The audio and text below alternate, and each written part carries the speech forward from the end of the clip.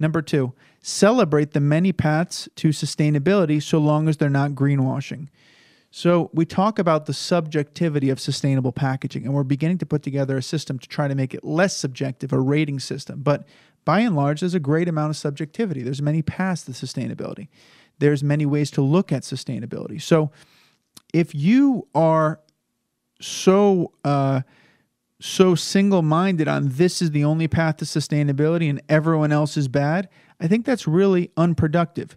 You can have your paths. I have my paths. I love hemp. I love ocean bound plastic. I love tin.